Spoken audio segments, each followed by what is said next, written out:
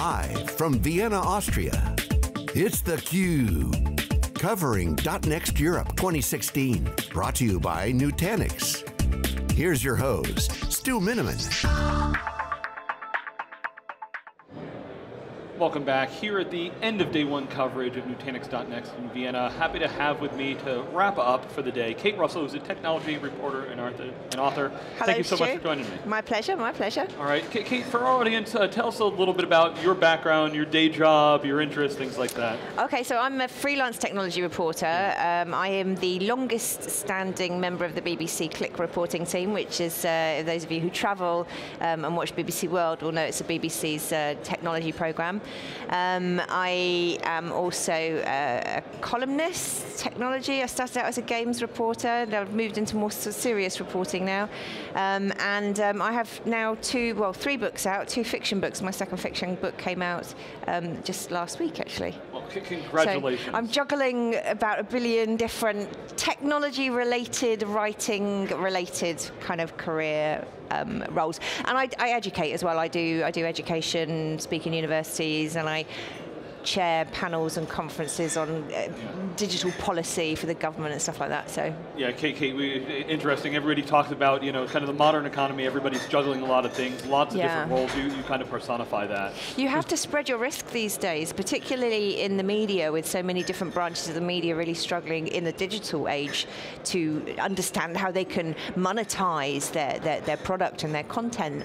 Um, and then when you're freelance, um, you, you can't have all your eggs in one basket. So I found, you know, being now 20, 20 odd years as a, as a freelancer, the way to sustain um, a, a workable um, uh, income is to have it spread across lots of different micro incomes. So when one of them implodes, you don't, uh, your life doesn't implode with it. And from a technology space, so, Hmm. you know, it, we said for the most part, I don't think we call them smartphones anymore. They're just phones now, right? So what's, what, what's kind of the biggest, most interesting things that, that you've been covering in the tech space? Well, you know, I mean, as a technology reporter for the BBC, I get to do some really exciting stuff. So, you know, I went over to NASA this year and went to see the latest work that they're doing on the latest space robots. Nice. Um, so they've got this uh, tensile robot, which they're working on, which will be about 20 years before it goes out into space. But, um, you know, the uh, Mars lander, the rover Curiosity, um, that basically weighs the same as an average um, sized full-grown giraffe to give you an example. And in order to land it safely on the surface of Mars, the sky crane technology that they used to land it softly had to be able to hold the equivalent of 139 giraffes weight just to, to slow the velocity. So, you know, when you consider how bulky that is and how much, how costly that is in terms of fuel and various different other things, um, this tensile robot is like those squishy balls that you got as a kid with sort of like poles and tendons. So they weigh virtually nothing, a couple of kilos. They can be flat packed. Um, so you can them in a cone of a, a nose cone of a rocket for launch. And when you get out into space, you just pop them open, hang the scientific payload in the middle of them, and you can just throw them at planets. They don't need to land softly because they just bounce. Yeah, they, they and said the it looks like a giant buckyball, I believe, Exactly. something like that. Yeah. So you know that, that kind of stuff is really exciting. Getting to see you know the work that they're doing and the work that they're doing with with um, the um, uh, air traffic control for drone traffic management, which is going to be a really big issue over the coming years. Uh, there's going to be like seven million commercial drones in the skies over uh, America alone next year, and that needs to be managed. And businesses need to be able to um, you know profit in that business. It's, it's a good business to be uh, to be the, the government wants it to succeed, but they obviously need to make it safe. Um, but then you know I also get to do really interesting things like look at, at, at policy discussion and you know looking at um, looking at the digital single market and how that's going to affect businesses across Europe is really interesting. Looking at how the new um, data protection regulations when we switch over to the GDPR is going to be really interesting. So I have kind of a very broad range of interests, right from space robots and, and, and drones and you know and sort of really fun stuff like AI and robotics, all the way down to the nitty gritty of sort of like policy and, and, and sort of like the startup sector in the digital area because it changes every day and that's what's so exciting about it. Yeah, absolutely. But we, we are fortunate to live in a very diverse time uh, when it comes to technology. Uh, when it comes to diversity, maybe speak to what, what brings you here to the Nutanix uh, conference, uh, the activities you were working on today. Yeah, well, I, I was very kindly uh, invited to come and uh, do, do, two things. So the first thing today I did was, my workshop on um, diversity, equal IT, equal IT equality, get it? Um, very clever. Thank you very much. Um, but profiting from diversity in the tech world, so I did an executive um, track. Um, about 40 people joined me to talk about um, why diversity is good for business, and there's lots of studies now showing that you know, sort of, if you've got a more diverse workforce, then you're, um, you know, you're more able to, to attract and keep top talent. You, your your work, workforce is more in line with your consumers, so you should be more customer oriented. And also, you know, there's a McKinsey study that's um, from earlier this year that actually shows you're three times more likely to be profitable than your equivalent companies that have a less diverse management um, roles. Because the problem is, the problem we got with diversity um, in, across the board, not just in te technology, um, but it, technology is, I think, only 26% of um, digital jobs are held by women, and that number drops off to about 5% when you look at management level women. Um, so there's, we're really struggling to fix the diversity issue. So I did that, that workshop, which was good today, and then tomorrow morning I'm um, chairing a panel with um, some uh, um, Sparky startups in Europe, looking at how, uh, you know, what, what it takes in Europe to be a successful tech startup, and, and, and indeed whether that is massively different from other parts of the world, um, what's to our advantage and what's not. But it's going to be a very quick panel, so we're going to be, you know, it's going to be small but perfectly formed um, tomorrow morning. Right, yeah, Kate, totally agree, especially the, the diversity of ideas. Mm. If we've all been told that we can't keep doing what we're doing. But if we keep talking to the same people that we know, uh, we're not going to change probably because you need to talk to somebody else. So yeah. you need to have different opinions, uh, be able to bring, bring, in people with different viewpoints that will be able to help uh, change what's happening there.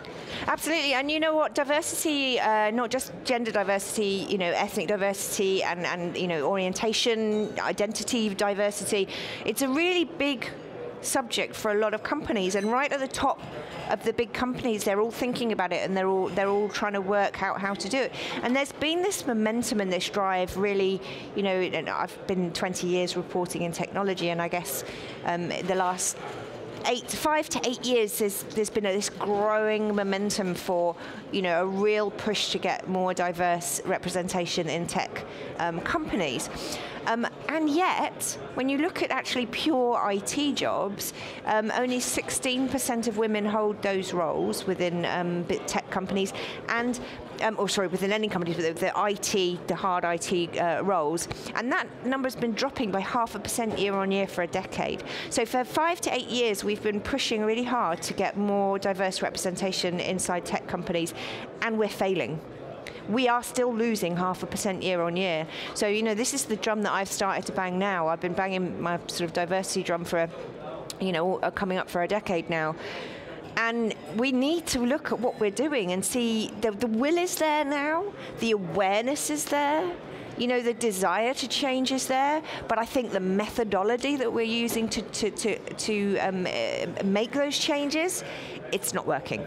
So we really need to sit down and have a good hard look at what we're doing and say, okay, with all the best will in the world, what we're trying to do at the moment isn't working. Why not? How can we fix it? Yeah, Kate, it reminds me a little bit of, you know, for decades there's been talk about, you know, like IT needs to be greener. Mm-hmm. And when you get, it, it, was one of those things, we know we need to do it, but uh, it gets pushed down the priority list. Diversity. I think if you, you talk to any executive, they're going to say they understand the value of diversity, oh, but you mm. know, and it gets down to the tactical level, oh, they made their decision based on however mm. they were doing it. So h- how do we change the conversation? How do we you know, how do you move the needle on a, on a big, tough challenge like this? Well, you know, it's the, the, the, the statistic um, that last stuck in my mind recently about um, CEOs, 75% of CEOs um, uh, have diversity, gender diversity and ethnic diversity in their top 10 list of priorities.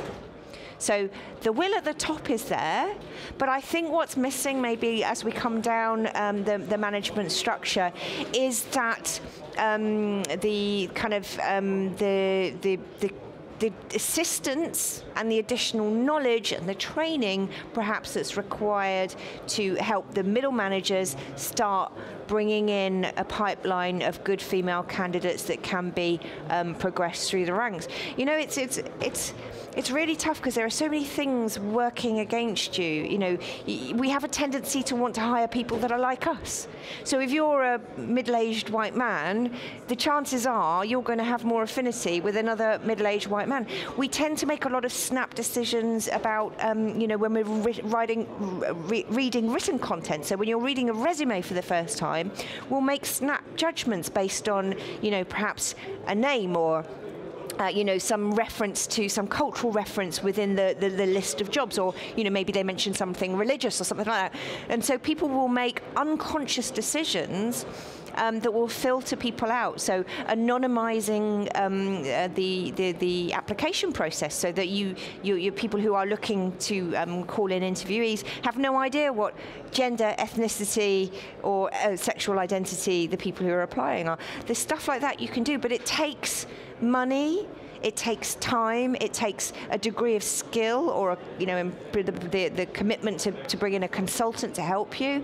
And, you know, it's all very well having diversity on the top 10 list of things that you want to achieve, but unless you put some actual resources behind that, then it's only ever going to be, you know, a, a, a, Christmas list to Santa Claus. You can send up that up the chimney all you want, but it's not going to come down um, very productively. You have to put it in the incentive plan of the HR group or something like that. Uh, to, exactly. You know, if you, if you, if you, if you drive it to how, uh, how they're paid, uh, maybe they'll follow through. Yeah, yeah, right, exactly. I mean, there's, there's so many things, and also, you know, there's the support mechanisms um, for when women do come into the workplace.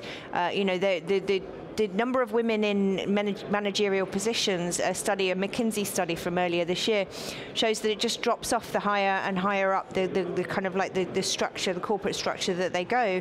Um, and yet that same study found that women don't get the same level to access, access to senior level mentors. And, you know, and it's, I think it's really important that when you do get good, if you put a, a lot of effort into getting good female candidates in and you interview them and they are the best, because that's the other important thing is don't, you should, obviously nobody is ever going to give you a job just because you're a woman, um, but you know, getting the women through the door, getting them into the interview seat, finding the best candidate from the diverse pool of people that you've managed to get in for interview, and then essentially Women, I think particularly in male-dominated environments, they need a good mentoring system. And, and not for when it goes wrong. You know, so many people go, oh, everything's gone wrong, I need a mentor that's the wrong time to get a mentor.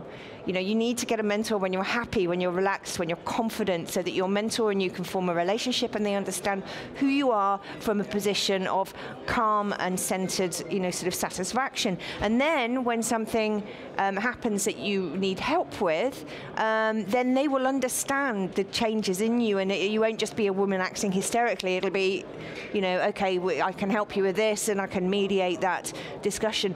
Um, also, the other thing I say is people take an un- everyone, everybody should take an unconscious bias test everybody. Okay, and explain to us what that is. So basically, um, I, will give you a little anecdote. Uh, uh, about six months ago, I think it was, somebody tweeted me saying, I'm putting together a conference on technology. I'm putting together a panel on technology. How would you like to add a bit of glamour to it? I was like, about to angry tweet back going, how would you like to do an unconscious bias test before you start insulting people on the internet? Um, so an unconscious bias test is basically a test that, that, throws at you a load of questions, and the one that I did was based on, uh, you had to name, apply the name to the job and, and you know, and the roles and stuff like that.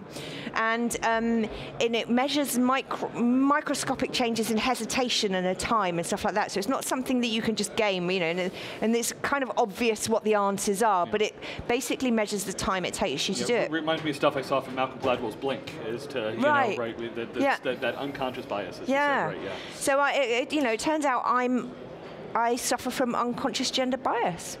And I was shocked at first. I was like outraged with myself. Or, you know, I took myself outside and slapped myself around the head with a wet fish. Um, but as it turns out, I was a teenager in the 1970s and 80s, and so I, you know, some of the biases of that era um, naturally rubbed off on me. It's called unconscious bias for a reason. But when you're aware of it, it, you can own it. You shouldn't try and change yourself, but when you're aware of it, you can own it and you can recognize it in others as well, more importantly. So when somebody says something to you in the workplace that you think that's a bit sexist, you can actually check yourself and say, well, he's a middle aged guy in his 50s So, you know, I am gonna, I'm gonna discuss it with him and I'm going to let him know how I feel. But rather than going from a position of anger and, and, and, and you know, sort of upset, you can go from perhaps a slightly more centered position of understanding that I don't know if you realize what you did just now, but this is how that was to me, and this is why maybe you should think about changing changing the way. And I think it just allows you to have a much better, warmer dialogue with people rather than instantly getting into a sort of like a crunch conflict situation. Kate, as, as, we come to an end, uh, you, have got the Kickstarter campaign. Maybe uh, explain to our audience a little bit about that. Yeah, so I'm I'm, fiction, I'm into fiction now. My first yeah. book was a sci-fi book based on the game of Elite Dangerous that I, I was um, uh, got me into technology back in 1985, uh, 1984 even. Um, and so my second book of, of, fantasy fiction is came out last week on Amazon, A Bookkeeper's Guide to Practical Sorcery. And right now I'm funding a crowdfunder to have the audio book read by Brian Aldridge from The Archers, Charles Collingwood, if you know The Archers Archers. You've got a wonderful British accent like this. And when I heard him reading another book, I was just like, that's the guy I want. So, but he's quite expensive.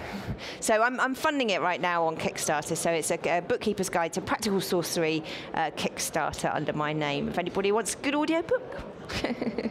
Well, Kate Russell, really appreciate you helping me come close Thank out so day much. one. We're going to be back with the second day of coverage here from the Nutanix.next conference in Austria, in Vienna, Austria. You're watching theCUBE.